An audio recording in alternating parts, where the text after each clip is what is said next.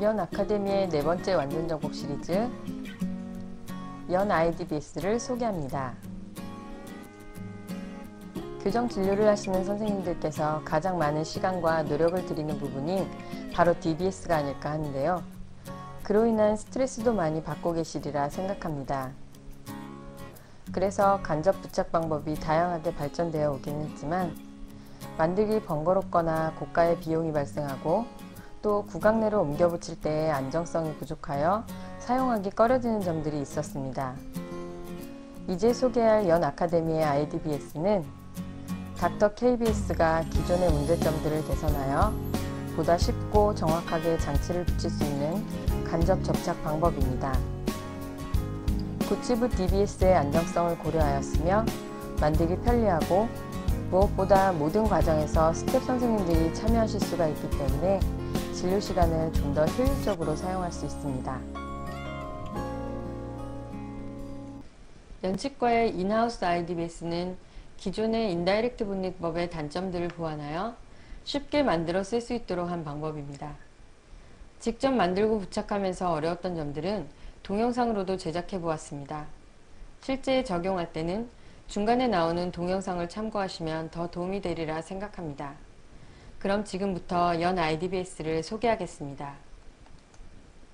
순서는 개요, 술식, 주의사항으로 준비했습니다. 먼저 개요입니다. 인다이렉트 본딩은 왜 필요할까요?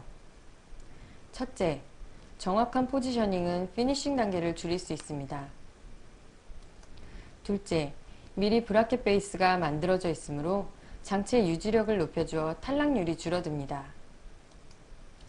셋째, 잉여 레진이 거의 없으므로 치대가 잘 붙는 현상과 치면 탈해가 일어나는 것을 줄여줄 수 있습니다. 넷째, 많은 치위생사 선생님들이 공감하실 내용인데요.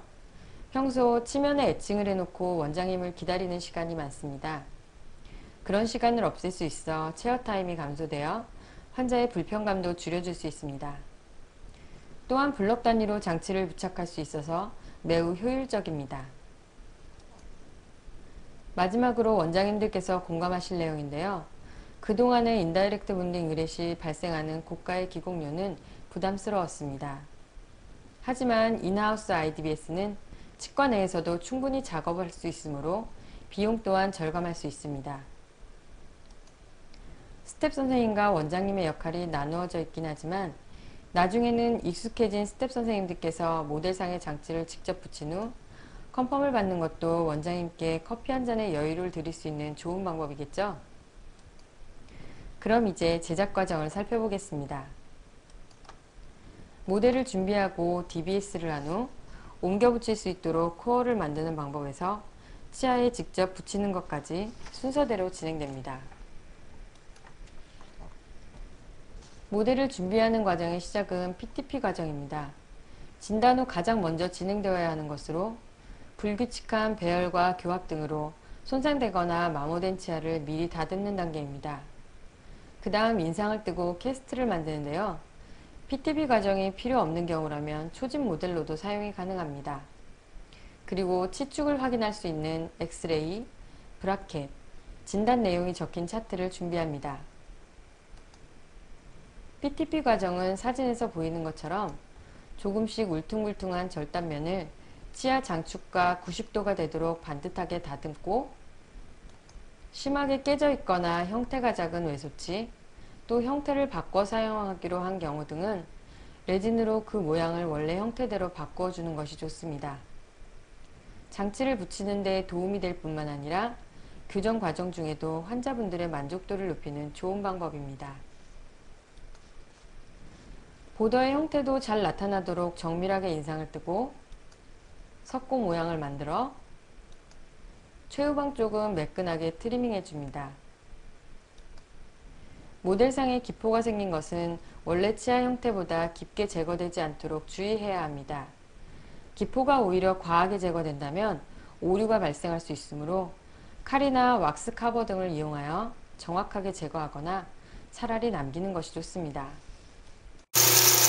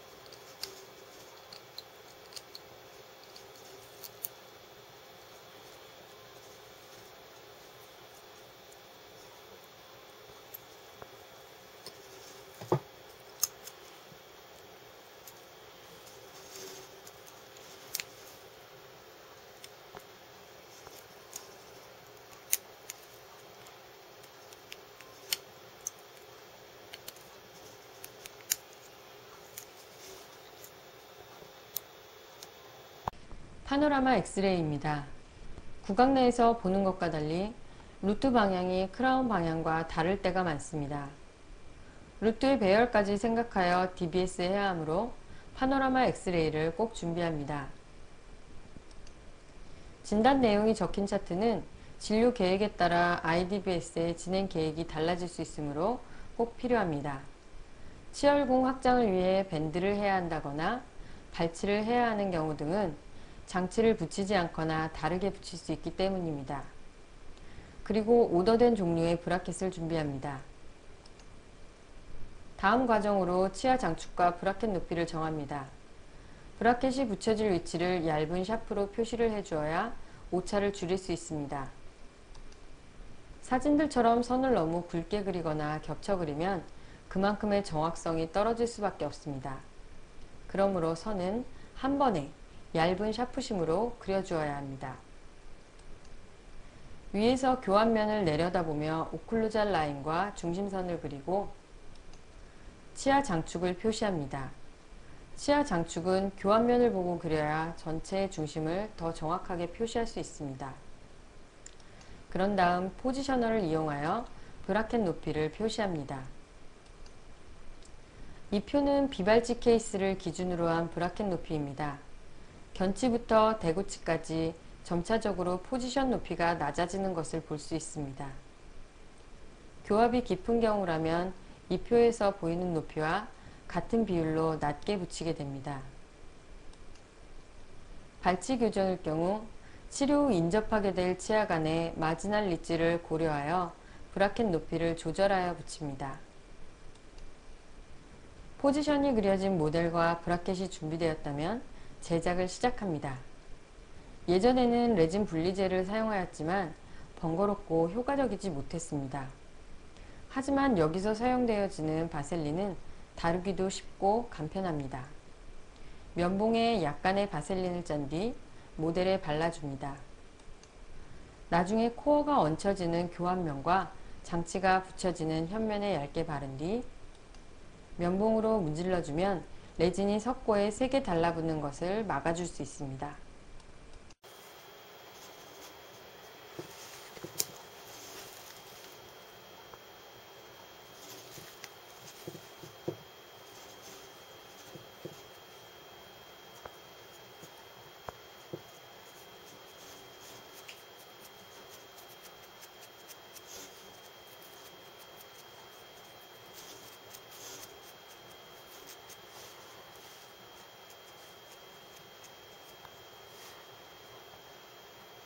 이제 bracket을 붙이는 과정입니다. 이때 본드나 풀로 붙이던 기존의 방법과 달리 구강 내에 직접 붙이는 방법과 동일하게 준비합니다. 트랜스본드 레진과 primer, positioner와 bracket holder, bracket, 그리고 모델이 있으면 됩니다. 구강 내 DBS 시 다른 종류의 레진을 사용하고 계신다면 광중합형 레진일 경우 어떤 것이든 상관없습니다. holder에 bracket을 잡고 primer를 바른 뒤 레진을 올려 모델상의 장치를 붙입니다. 장치를 붙이고 정확한 위치를 선정한 다음에는 주변의 잉여 레진을 제거한 후 바로 curing을 해줍니다. 이때 두세 개 이상 붙이고 curing을 할 경우 미리 붙여놓은 장치가 미끄러지거나 움직일 수 있으므로 하나씩 바로바로 바로 curing을 해주는 것이 좋겠습니다. 구강 내에 골드 크라운이나 인레이, 아말감 같은 충전물이 있는 경우 bracket 베이스를 넓게 만들어줍니다. bracket 베이스를 넓게 하면 붙일 때 적합성도 좋고 탈락률도 줄어듭니다. 사람마다 교합은 조금씩 다를 수 있으므로 모델상에서 무작정 정해진 위치에 bracket을 붙이기보다는 대합되는 치아를 고려하여 전체 높이를 결정해야 합니다. 그 위치가 선정되고 나면 브라켓의 윙 부분이 교합에 걸리는 것이 없는지 확인해야 합니다. 필요하다면 브라켓 준비 시 미리 윙을 다듬어 주는 것도 좋습니다. 장치가 모두 붙여졌습니다. 다음은 코어 제작 단계로 넘어가겠습니다. occlusal stop 만들기 이것이 포인트입니다. 예전에 실리콘이나 퍼티를 이용해 옮겨 붙일 경우 재료에 탄성이 남아 있어서 구강 내 적합 시 힘이 전해져 장치가 미끄러졌거나 위치가 바뀌는 경우가 종종 있었습니다. 하지만 교합면 쪽에 밴드 세멘을 올려 stop을 만들어주면 기존의 방법들보다 훨씬 정확하게 붙이실 수 있습니다.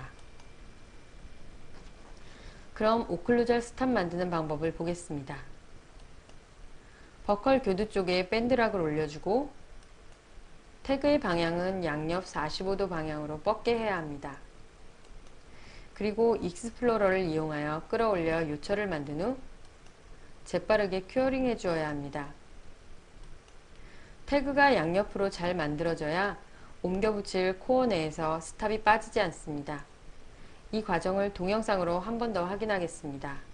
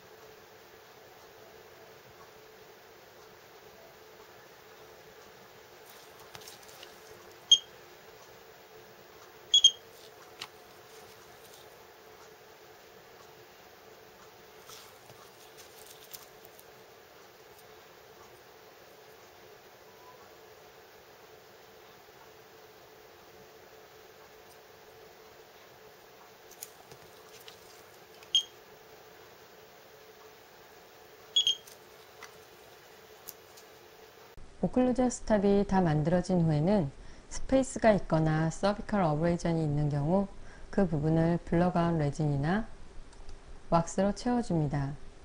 carver를 이용하여 wax pot에 녹인 왁스를 proximal 면과 gingival 면에 채워주어 코어의 오류를 줄여줍니다. block out 과정입니다.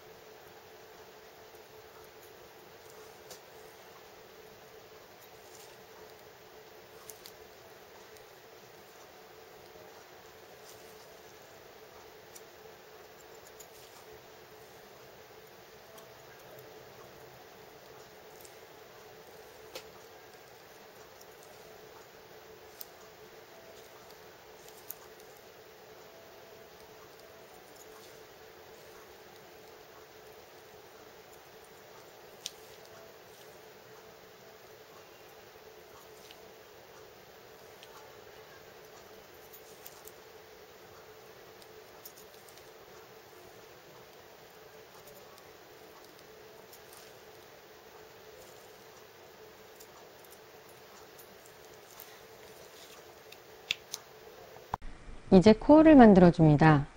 제품명은 레고픽스라는 제품으로 실리콘 재질입니다. 투명한 실리콘으로 working time이 2분이 채 되지 않습니다. 굳기 전 작업이 빠르게 끝나야 하며 working time을 적절히 사용하기 위해 냉장 보관을 해야 합니다. 그리고 중성세제와 물을 섞은 용액도 준비합니다. 쉽게 말해 퐁퐁물입니다.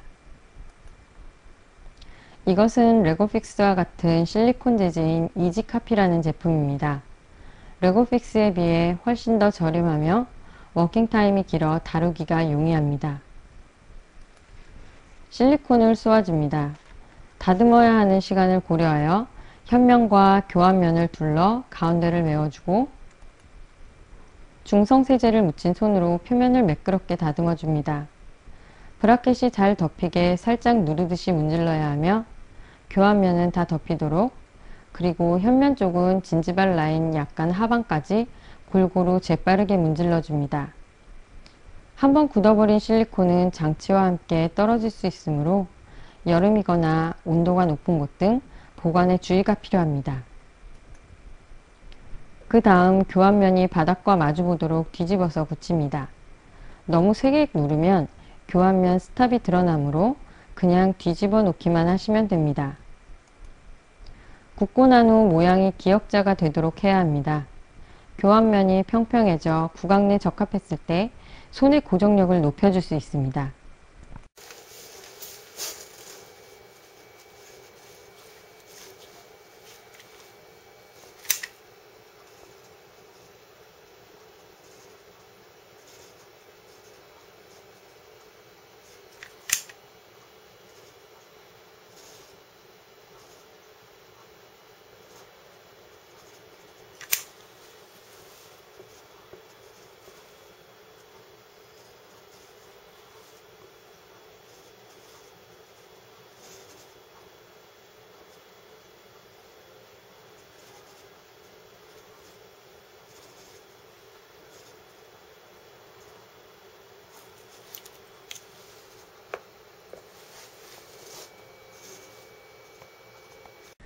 다 굽고 난 코어는 버컬 진지바 쪽부터 왁스 카버를 이용해 틀어줍니다. 그래야 스탑이 부러지거나 실리콘에서 빠지지 않는 현상을 없앨 수 있습니다. 사진에서는 두 개만 제작이 되었지만 전체에 장치가 붙어 있는 경우 전체를 통째로 떼어내 줍니다. 떼고 난 직후의 모습은 잉여 레진이 주변에 남아 있습니다. 이것은 블레이드를 이용해 정리를 해주어야 치면에 부착했을 때 여분이 남는 것을 줄여줄 수 있습니다. 또한 구치부의 훅 부분이 실리콘에 묻혀 있는 경우 잘 빠질 수 있도록 덮인 실리콘을 제거해 주어야 합니다. 이 과정을 지나친다면 구강 내 붙인 후 실리콘이 쉽게 제거되지 않으므로 주의해야 합니다. 다음 bracket 베이스에 묻어있는 바셀린과 샤프의 선자국을 없애주어야 합니다. 표면만 살짝 정리될 정도로 sand를 쳐주면 되는데요. 레진 베이스가 너무 많이 제거되면 그만큼 bonding 시 오류가 많으므로 아주 살짝만 표면 정리해 주시면 됩니다. 마지막으로 물로 깨끗하게 수세하고 건조해 주시면 됩니다.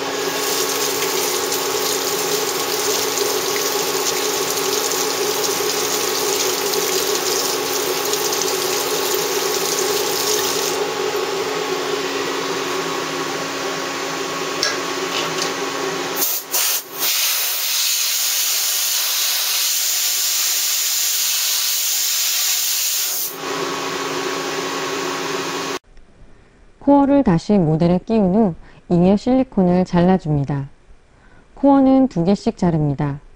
한 손으로 구강 내에서 작업하게 되므로 치아 두 개 이상이 되면 손가락으로 눌러줄 수 있는 힘이 고르지 못해 정확성이 떨어질 수 있습니다. 치아와 치아 사이 엠브레더 쪽에서 잘라주시고 버컬면은 진지바 쪽이 2mm 정도 덮이도록 정리해 주시면 됩니다. 너무 많이 남겨둔 경우 침이 올라올 수 있고 너무 짧게 잘라둔 경우 고정하는 힘이 잘 전달되지 않거나 브라켓이 코어에서 빠지게 됩니다. 다음은 치아에 붙여지는 단계입니다. 사진의 왼쪽은 릴라이언스 thin paste 레진으로 흐름성이 좋아 표면에 얇게 발리고 다루기가 좋습니다.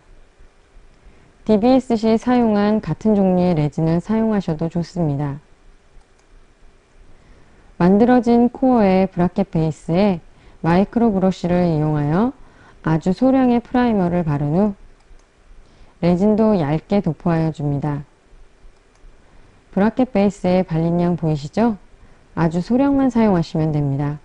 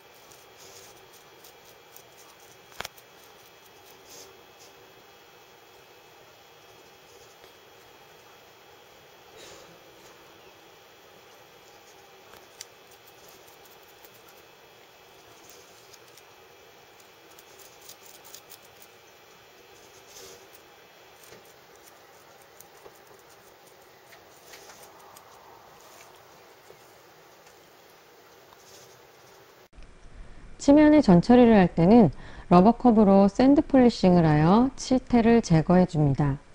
치석이나 치태가 많을 경우 sand polishing만으론 표면이 깨끗해지지 않아 완벽한 etching이 어려우므로 round bur를 이용해 표면을 polishing해 주어야 합니다. 정확한 전처리가 접착력을 높여 탈락을 줄일 수 있습니다. 잘 etching된 치아 표면에 primer를 아주 얇게 브라켓이 붙여질 부위만 바릅니다. 코어를 치아에 적합시킨 후 교합면과 옆면을 동시에 고정해야 하는데요. 한쪽 면만 누르게 되면 반대쪽이 들리게 될 수 있으므로 반드시 양면을 같이 고정시켜야 합니다. 너무 세게 누르면 오히려 위치 변화가 있을 수 있으므로 주의해 주세요. 누른 상태에서 curing을 해줍니다. 앞뒤로 curing을 해준 후 손을 떼고 위쪽과 아래쪽도 curing 해줍니다. 메탈 브라켓이나 구치부일 경우 빛이 잘 전달되지 않을 수 있으므로 사방에서 꼼꼼히 curing 해줘야 합니다.